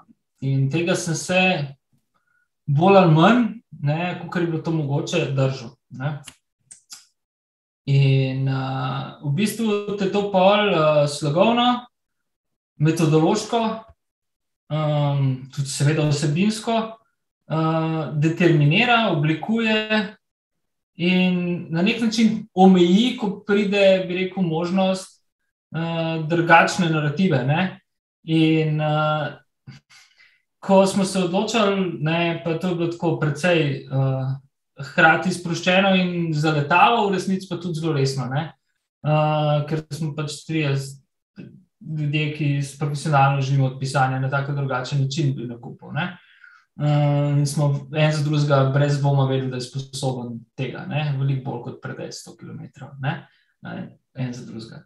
Um, in v bistvu sem na mudoma bil blazno vesel, da se bom lahko lotil nečesa, ne? kar mi je v bistvu tuje, ne? imam pa vsa urodja, da mi lahko postane na mudoma domače. Ne? In hkrati smo se odločili za tako precej alibi formo. Ne? V bistvu smo si, smo, smo si kratke pase podajali na svoje polovici brez presinga. Uh, pogovarjali smo se en z drugim. Uh, v bistvu uh, brez presinga pomeni, da, da, da nismo knjige pisali kot take, ampak smo se v bistvu dopisovali. Uh, to pomeni, da smo se igrali. Ne? Res je bil ta naš pisni nogomet, v resnici igra, ni bila tekma. Ne? In uh, seveda, bolj ko se je zjutraj približal, bolj ko smo bili v formi, bolj ko smo se tudi osebno spoznavali, in ko so se nastavile neke vezi in podvezi, in predvsem zaveze ne, in razveze, ne, uh, bolj pa če tudi to vplivalo na pisanje. Ne, uh, ampak uh, jaz sem si v bistvu rekel, da ne bom čisto kompliciral ne, in uh, sem sledil temu um, Hemingwayovskemu principu, da v bistvu. Uh, ne uporabiš, če so le da niti eno odvečne besede. Uh, in uh, ko imam občutek, veš, imam, jaz imam probleme, ko pišem uh, analize, recimo, ne, ali pa dal, daljše, dal, daljše tekste, ne, uh, seveda non-fiction, novinarske tekste. Um, Ker me enkrat rado stavki strašno dolgi, z full, full podatkov, vmes, zato imam še vedno občutek, tudi na stare leta, da moram vse čas vsem vse povedati. Uh, pre, uh, ko pišemo o sebi, in to je malkrat, ali pa iz sebe, ne, se pa ne mudoma spremeni narativa in slog in stavki, rado je full kratki. Ne. In tukaj se pozna, pač, uh, ob komer se, da sem rastel, ob v bistvu Hemingwayu pa Bukovskemu. In uh, seveda tukaj lahko še en kup drugih vplivov naštejemo. Uh, ampak. Uh, To, da ne vem, pač, če je neki drek, pač napišeš, da je drek. Zelo simpel. Če je fuk, je fuk, ne kompliciraš. Ne? Zakaj bi rekel? In vedno bolj želim, ne? in to, zato je bilo to tako osvobojujoče. V enem trenutku sem začel noro uživati v tem uh, zionu. Samo, rudo mi še vedno za nazaj na nek način uh, upravičeno učita, ne, da sem to delal v bistvu prek kurca. Jaz sem delal prek kurca in to zato, ker mi sem prvič v življenju lahko nekaj delal prek kurca. Ne? In uh, mi je bilo to tako mega, ne? ker sem se sprostil. Seveda, ne do konca, tle je ena silovita analna zavoda v pisanju. Ne? Naša resnica je kot vsaka nadzirana. Uh, nismo bili in še vedno nismo, ne? vsak ena na ena, mogoče kot trio nikoli, ne, si bili tako blizu, da bi bil to full monty. Uh, in uh, je bilo mi tudi tako sociološko, celo antropološko, ne, kulturološko zanimivo opazovati, kako so te, te psihološko, seveda, uh, relacije se odvijale, razvijale. Ne, in tako naprej. In tudi to je blazno vplivalo na moje pisanje. Če povem, mislim, mogoče boste tako samo kožigo, pa pre, boste presenečeni, ampak um, uh, jaz sem pač že v bistvu takrat zauzel podzavestno, nezavestno neko, ne bom rekel, vlogo umproforja, ne? ampak uh, nekoga, ki uh, v bistvu je mešanca obeh karakterjev, ki je le zaradi tega lahko z obema blizu. Uh, ker samo prežiga ste si tako brutalno nasprotna, karakterno, da je bilo jasno poslednjemu drevesu in prvemu kamnu na prvem teku, da to ne vodi nikamor drugam, kot v en čudovit konflikt, ne? Ki je naredil knjigo, ne? ki je dal suspens, ki je dal dušo, ki je dal veliki scenaristični obrat in ki močno upam, evo. Uh, seveda se vprašanje postavlja samo pod koga, tudi koga drugega za sebe, uh, upam, bo dobilo ob desetletnici neko nadaljevanje. Ne? Uh, zato, ker pač, ja, mi se nekaj dosti ne družimo. Ne? Um, pač zdi se mi fer, da rekel, smo pa rezični pri tem, kako se temu reče. Ne? Da govorimo zdaj čim bolj uh, resnično resnico, čim manj nadzirano resnico. Samo pa žiga se ne družita, jaz se samo tam družim intenzivno bliže so po mojem kot kadarkoli. Uh, žigatom sva oddaljena, ampak sva tesno povezana in komuniciramo preko nogometnih metafor. Ne? In to se mi zdi briljantno izhodišče, zato da nekoč, torej so razmerno malo, glede na norost hitrosti časa, ne jebeš uro, ne? čas sam je tako noro hiter, da ura ga pospešuje. Um, nujno potrebujemo uh, nadaljevanje za dušo, še ne za bralce. Ja, to mi je oni dan samo dejansko uh, povedal živo. Jaz sem se števala, koliko let je že od, od uh, vašega zajona in smo ugotovili, da je že kmalo 8 let, to se pravi še dve leti. Dve leti, pa bo desetletnica tule, je rekel Boščan, Boščan, Boščan je res do tega, je rekel meni tudi, se je rekel, zakaj pa tebi. Se je rekel, Boščan mi bo že povedal, zakaj in to si zdaj le lepo artikuliral. Samo je pa dejal, jaz pa komi čakam, ne, da bo sta ona dva v mojih letih, kot sem jaz takrat v prvi knjigi, se spopadla s to hudičevo meso, pa z vsemi tistimi jebenimi uh, obrati, pa zavoji, pa spon in tako naprej. No. Tako, ali bo res tako zaguljeno, kot je na trenutke v knjigi popisano, ali pa kot ti nekdo reče, tam, to je pa eden najbolj tehnično zahtevnih ultra. Jaz mislim, da bi se vsak slovenski uh, ultraš tam prijetno zabaval, ne pa trpel, ali se motim.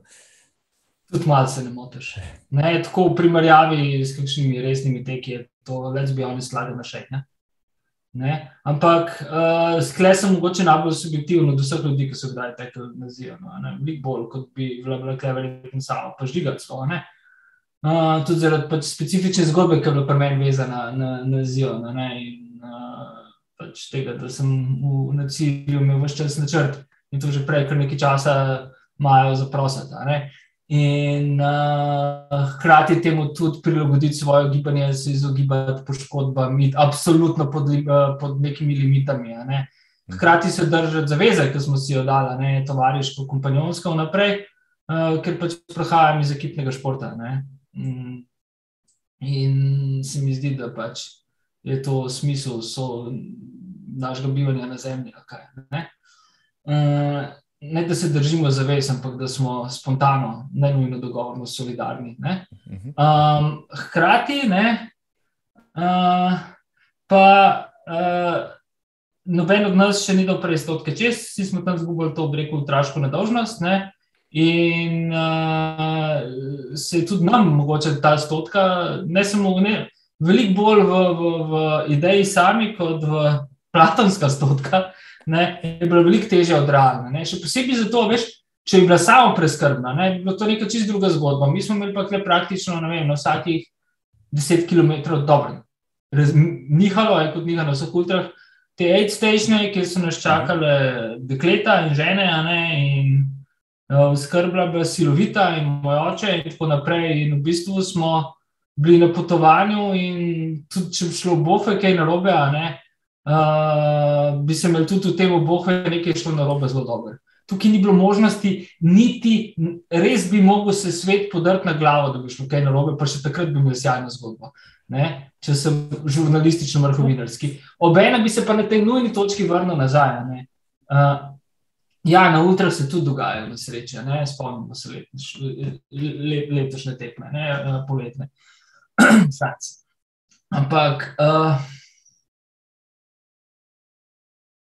a ne, vsi, ki to počnejo, počnemo, delamo to izrazito po lastni izbiri. Ne? B, tveganja na ultrah so neprimerno nižja od tveganj uh, v gori športov.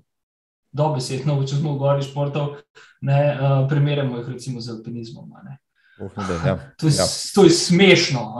Eno bi rekel, koliko če smo šolsko letno plezanje, je milijarda cela sedemkrat bolj navarno od najtežje ultre. Ne? Mhm. Tako da govoriti o nekih tveganjih, o nekih blaznih ekstremih, ja, ne?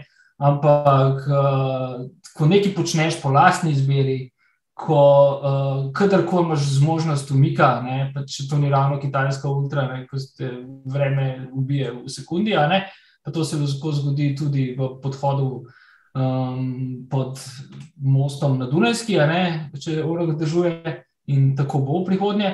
Uh, potem se mi zdi res, in tukaj je meja kulpa maksima, če stopim, ne vem, sedem let nazaj, oziroma in pol, uh, kar koli govorite o tej stotki, v čem ekstremnem je tako nakladanje in pretiravanje, da si zasluži brutalno šamo. Mi smo bili na izletu. Ja, lahko je bilo težko, ampak vemo, kaj je v življenju težko. Ultra zagotovo ne. Ultra je izlet. Tudi za najtežje, najmočnejše, najbolj prefukane od vsega ultraše.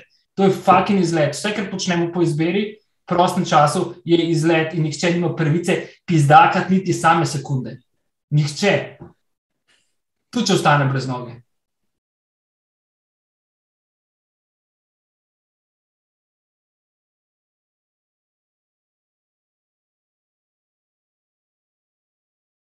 Zdaj le bi na tej točki mirno lahko zaključil tale, tale pogovor. Je bemo sunac, ampak, ampak, ampak si ne bom tega drznil, ker si v zagonu. Dragi goščan, vidim še spoštovano poslušalstvo. Če ste zdržali do tule, boste zdržali še ne četrt ure na vsak način, ne tisti trije, ki še ostajate. Sigurno, ja. Uh, Preden pride novi zajon, desetletnica, pa uh, krvavi pokol z motorko ne, ali kar koli že bo. Uh, bo šla še kakšna tekaška knjiga, vmes so že izhajale.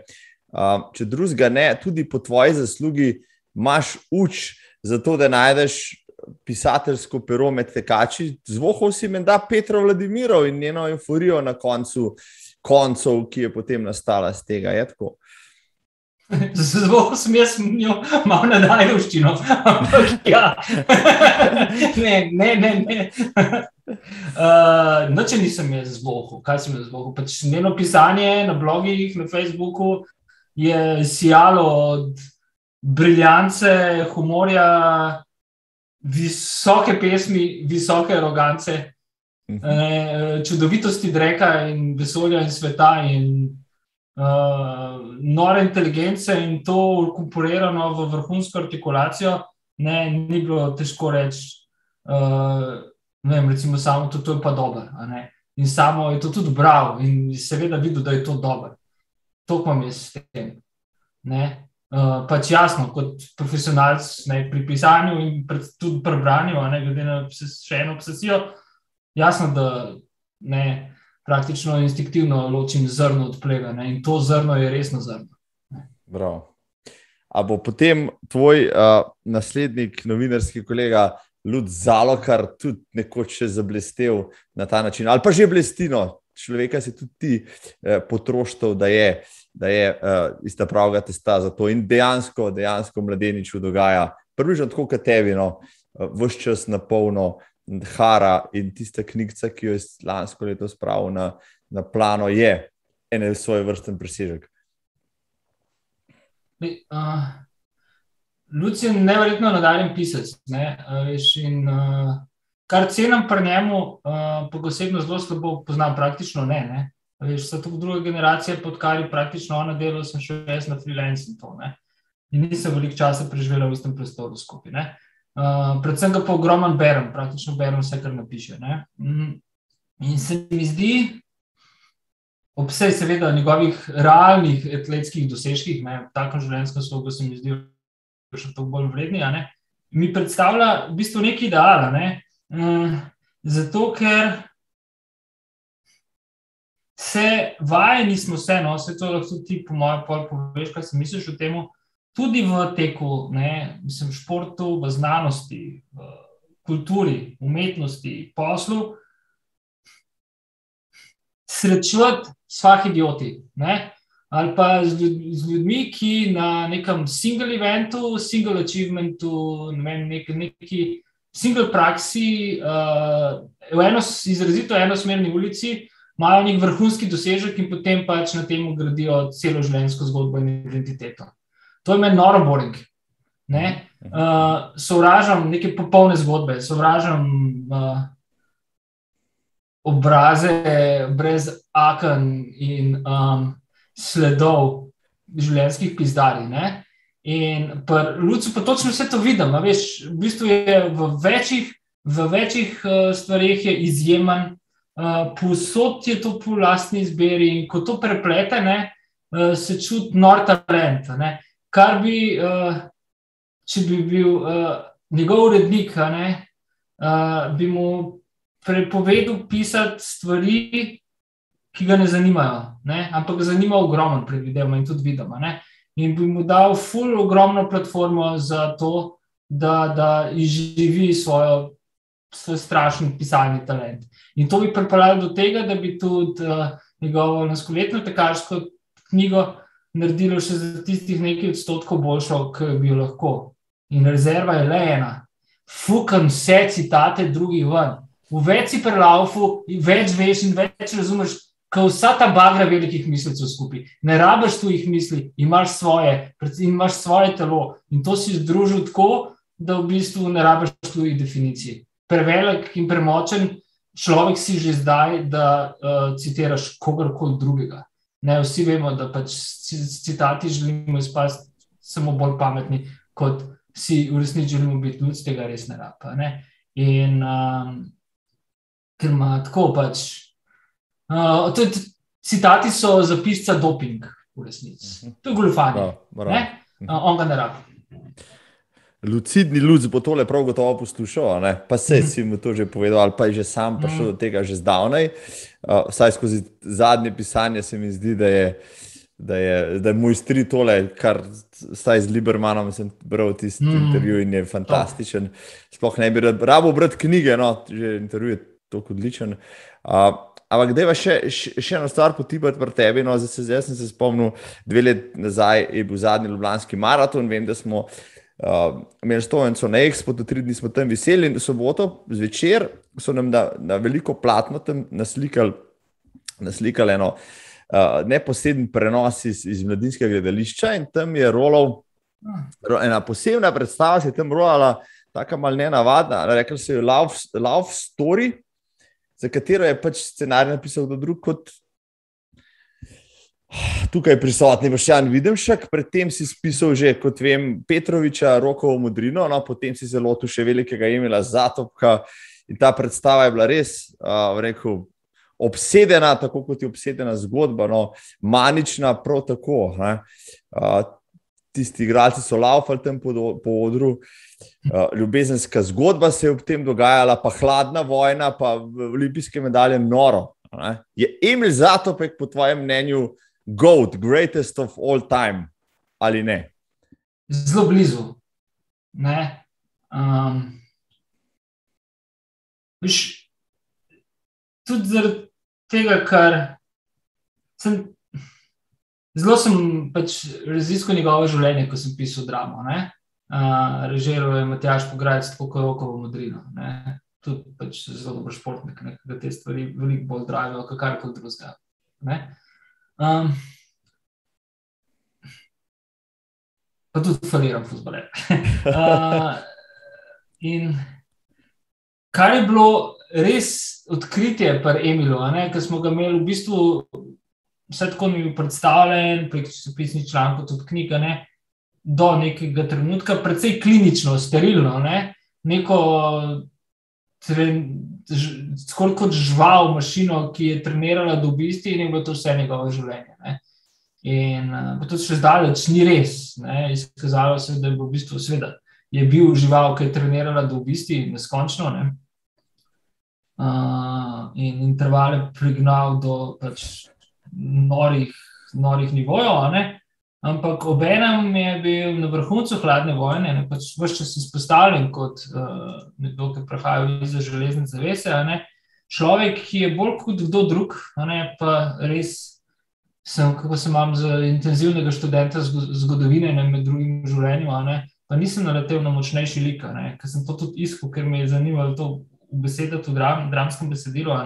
In sem se pa res mogel ustaviti, prosiljen sem se, bil Emil me je ustavil, ne? Uh, ne da bi me prehitev. Uh, on je združeval svetova, ki sta hodila po robu vojne, ki sta bila sovražna, ki sta preko ideologij in takih ali drugačnih totalitarnosti med sebojno odbojnost pripeljala do skrajnosti, ignorirajoč usode ljudi. Uh, Emil je bil pa človek, ki je te dva svetova z gibanjem, svojim dobrodušnostvom, prijateljstvom, naivnim humanizmom, naivnim radikalnim humanizmom, to je tisto, kar tukaj zdaj najbolj brutalno potrebujemo. Uh, družil, združil, povezal, vezal in v bistvu uh, v tej svoji strašni naivnosti ne, in ljubezni, ne, ljubezni, ki je vela iz njegove duše. Zato je Love in Love story. Seveda tudi zgodba o ljubezni, o njegovi in tudi njegovi ženi Dani, ki je bila tudi olimpijska prvakinja, ne med olimpijskimi medaljami. Ja. Emil usvojil na isti dan, tako, tako. Um, metalka kopja. Uh, zadela ga je v srce skupaj, kot smo tam nekako pokazali v, v, v drami. Um, je v bistvu premagoval vse, kar je bilo mogoče premagati. On je šel uh, tretji dan sovjetske okupacije uh, Češko-Slovaške, v avgustu 68 na ulici, se postavil pred tanke. In v bistvu dejansko tvegel življenje za to, da je sovjetskim vojakom poskušal povedati, da smo prijatelji, ne? smo ljudje. Ne? Kaj, vraga, počnete to v mojem mestu, mojim ljudem, tudi vi ste tu ne, iz drugih razlogov, kot mislite, da ste. Ne. In je bil zato kaznovan, ne, je bil poslan v rudnika Urana, kasneje je bil premeščen v čestilca Ulc, v pometača ne, in so na mesto njega uh, v Pragi. Ne, to so legendarne zgodbe, ne, ljudje je pač uh, čistili, ko je on prišel na svoje delovno mesto. Ne. In uh, zgodba o Emilu je veliko močnejša, no, tako, kako bi rekel, dramsko, scenaristično, čisto človeško v trenutku, ko se je njegova karijera, tekaška, v kateri praktično vemo vse, ne, uh, ko so trenutki, ko se je končala. Ne, in, um, je izrazito močen lik za to, da ja, je resen kandidat za Gauta v atletiki. No, pol pa povej, kdo pa je? Kdo pa je, um, je blizu mojega ljubega, Sokrateša. Kdo je tvoj Gaut po atletiki, vraž? V atletiki po mojem, ne bi najdel drugega kot Emila. Uh, v športu bi pa izpostavil, uh, pač to je vse, ne to moj prvi šport. En tak hibrid Sokrateša, pa zidana. Ne? Mislim, da je zidu za zidana, lopta mi je nekako najbližje. In tudi način, kljub barbarskosti, kako je matermoacija, koščena v prsa spravil na tla pezdeta, provokativnega ne, v finalu in se na ta način poslovil od vesolja ne, z najbolj gigantsko dvignenim fakičom. Ne, uh, se mi je zdela v vse svoje brutalnosti, svoje infantilnosti, tako noro človeška. Ne, Da mi je za vse večne čase ustal in bo ustal, po mojem, največji. Zine, zine, zidani, moj god, kar se športa tiče vseh časov. Uh, od ljudi pa njegov uh, dvojnik uh, iz nekega drugega obdobja, protko francoskega, protko sicer ne nacionalno, pa vendarle z želsko preteklostjo, uh, in prav tako tujec, tako ali drugače. Ne? Tako da Albert Kami je bil Golman, se veš. Ne? In je tisto, kar vedno citiramo. Ne? Vse, kar se je naučil o morali in obveznostih moškega, se je naučil iz nogometa.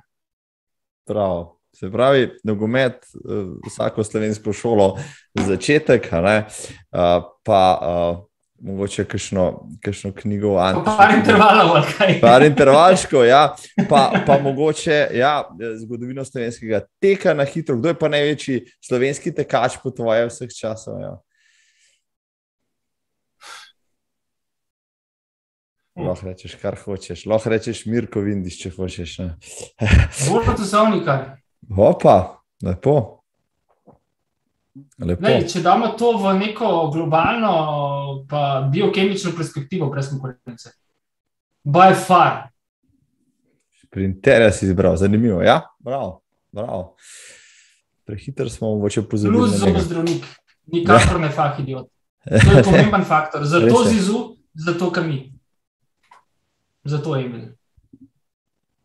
Mislim, kakšna, kakšna, kakšen, uh, kakšna ekipa najboljših. Ja. Pa boš pa boš čan viden še kot vezni. Ja. Ekonom moštva, nekako ne kuhar, vse strano, ki jih bo potrebno. Kuhar ne, ja, kuhar ne, da si pocrkala. ja. ja. Ti si tudi zgubo ene sedem, ki ga sala tam vidim, ne? Uh, Recently. Do, Sem dober uč, dober uč, dober uč, dober uč. Ne bom več dvomil. Tisto, kar si prej govoril o času, ne, tisto, kar si prej govoril o času, znaš prve. Ampak kdo drug bi znal kilograme oceniti bolj kot Boščan, vidim še, ki zna svojo težo oceniti na gram, po mojem. Ker kilogramov do kilograma ne pride. Tako je. In koliko železa je v njem, ja. Pa stare žeblje lizati včasih. Tudi ironi. Ja. ja. ja. ja. Kakšna ironija. Ja. Um, V redu. Uh, samo še, deva, deva, to se mora še dotakniti. Še v kognitivni disonanci bi lahko, po mojem, ti tudi govoril še kakšno uro, pa pol.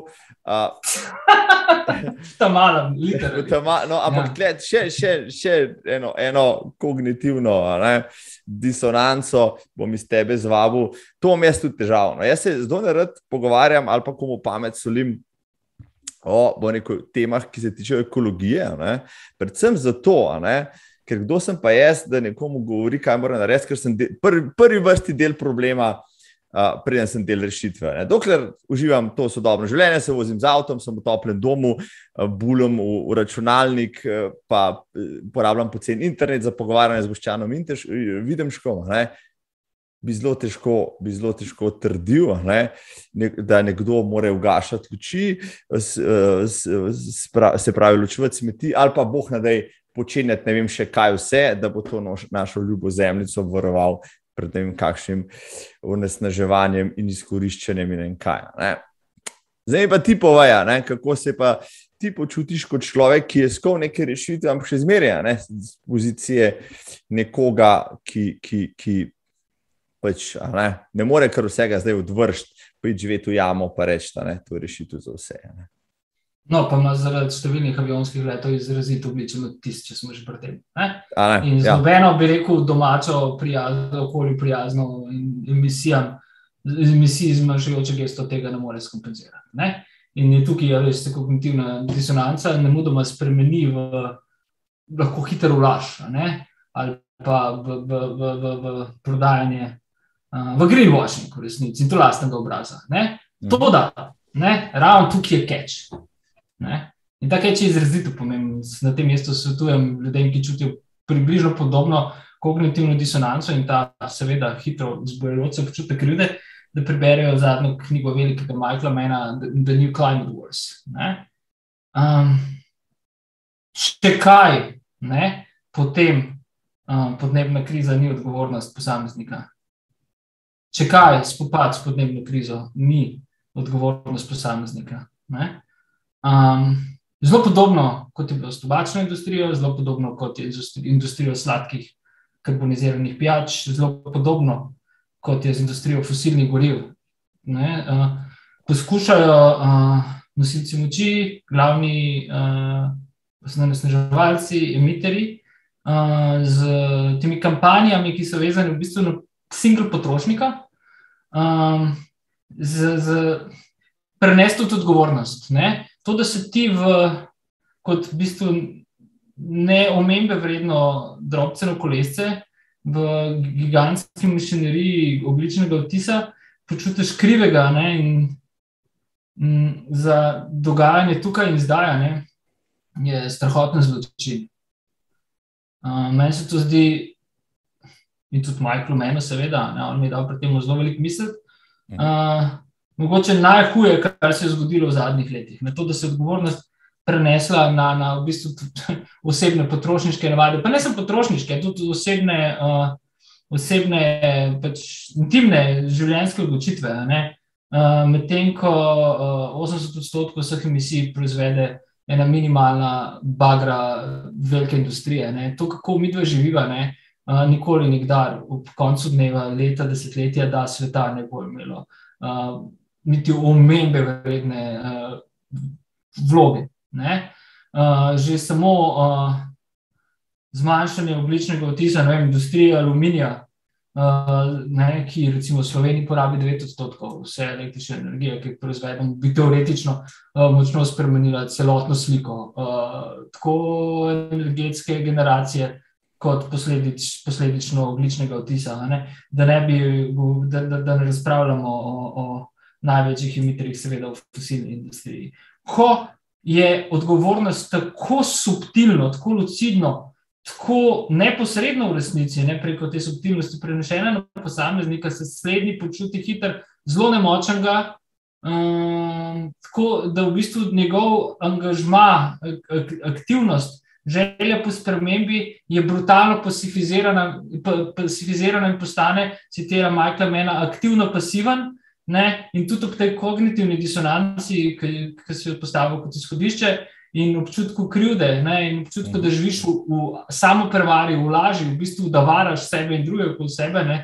s tem, kar svetu hočeš bolje, pa ohraniš vsaj del prejšnjih življenjskih navad iz prejšnjega obdobja. Ne?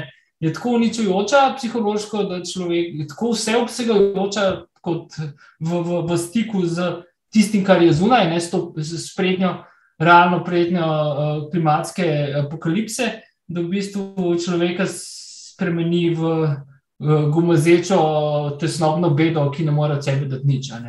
In uh, zato vsakomur, ne, ki čuti, tukaj to prav manual za uporabo, priro, priročnika, ne, uh, uh, ki to čutijo, ne, naj gre preverjati prvih 10, prvih 20, prvih 50 Uh, emiterju pa bo nemudoma jasno, da je njegova vloga ničeva in kam mora biti njegov pritisk, njegova energija, njegova slaba vest, njegova krivda, njegova jeza, njegov potencial aktivističen, uh, družben, političen, tudi civilizacijski usmerjen, ne? ne proti sebi, ne?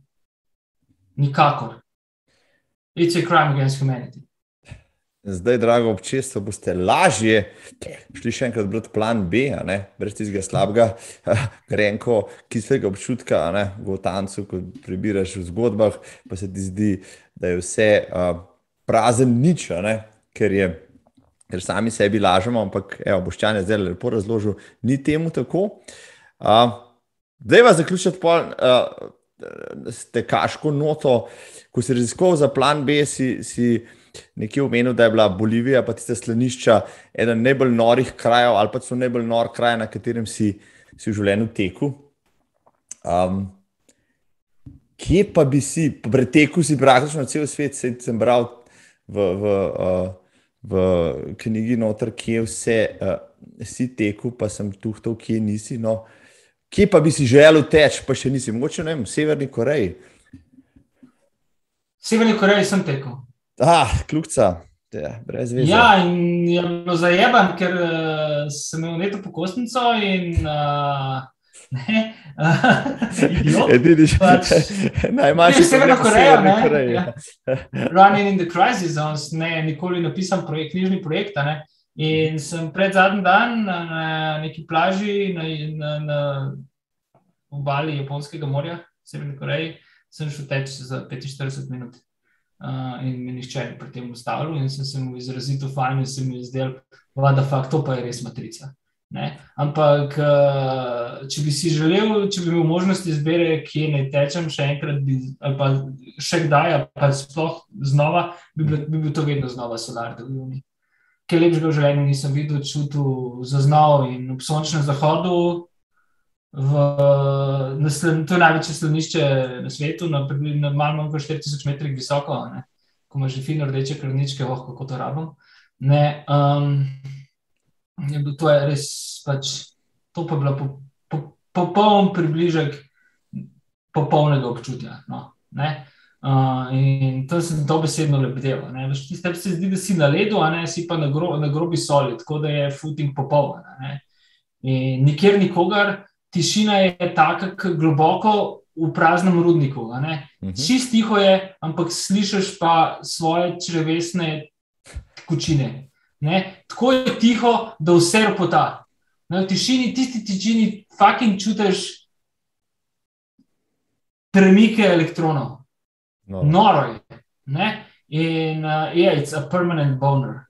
Ne, to, to, to, je, to, je, to pa je avtoseksualna izkušnja, mogoče edino, kar posedujem, poleg onanije.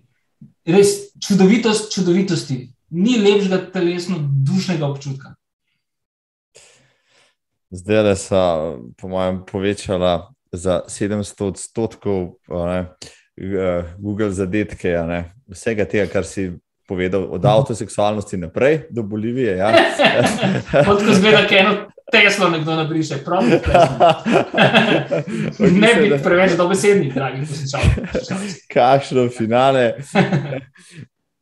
Zadnjo ali pa predzadnjo vprašanje. Uh, večkrat, večkrat poveš, kaj boš počel, ko ne boš tekel. Poveš, poveš naš, na, najnim poslušalkam in gledalcem.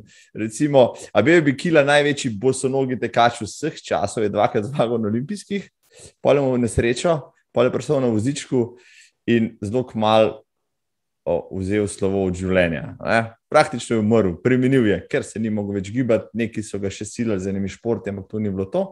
Kaj pa, kaj pa boš čan videl, če ne bi mogel več teči, zaradi kakršnega koli razloga? Ne, zadnjih nekaj tednov sem o tem zelo intenzivno razmišljal, ker sem bil pač pahnjen v to pozicijo, A, samo pahnjen. Um, Ne upam se odgovoriti, koliko sem malce pop-ulistično zapisal v Ultrablues, recimo, ne, da bi pač se zadeval, pa igral 3D špile. Uh mhm. -huh. Tisto, kar ne počnem, pa si v bistvu želim več čas delati. Uh -huh. uh, to je neka vrsta odložena gratifikacija. Ne. Ampak uh, glede na to, da imam uh, adiktivno osebnost, ne, bi se zihar na neki navlekel. kaj, bi, kaj, bi, kaj bi to bilo? Ne? Je pa ni, uh, niti približno si predstavljam, uh, vsaj približno dovolj učinkovite kompenzacije, ki bi mi lahko ob nezmožnosti gibanja ohranila ljubezen do življenja. Tudi pisanje ne. Ma kaki, o čem ne pišem, če ne morem laufati? Ne morem pisati, če ne laufam. In ne morem laufati, če ne pišem to je isto. Za me med laufanjem in pisanjem ni razlike, isto pišem, kot laufam. No, pišem hitreje. za enkrat, za enkrat.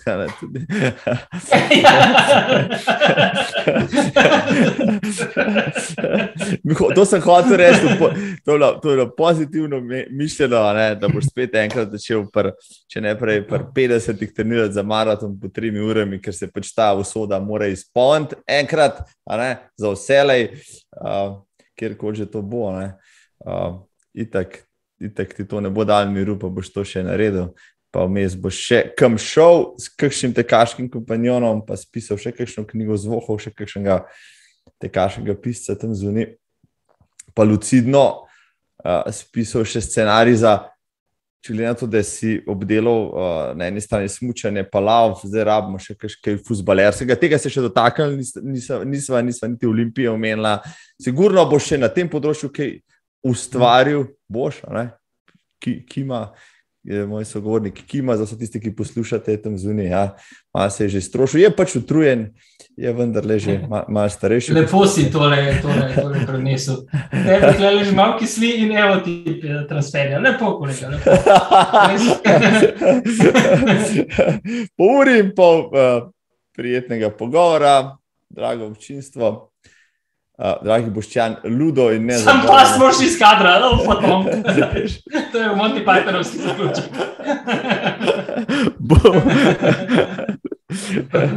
bo, bo, bo, zaključ, bo provala zaključiti. Ja, včasih mi žal, da sem se odločil za tale standing desk, ja, pa toliko dobrih stolov imam prebajti. Ja, to je tudi res. Ja. Um, če se ne vidimo v nedeljo, boščan, se vidimo na kakšnem trailu najbrž. To, to se pa še prismukaš tudi na štart, tudi v Sloveniji, slišim, ja, na kakšen pohorje ali pa kakšno vipavo, tam se te pa da videti. Drži. Ja, drži. Mhm. No, drži. Se, se ti, ti zahvaljujem za, za res nor pogovor. Ga bom sam dvakrat poslušal, da bom pač vse zapopadel, pa nič ne bom zaresel. Hvala ti, Ful. Enako, bilo mi je včasih. Enako. Dobro tek. Hvala, ostani za gre za tek. Čau.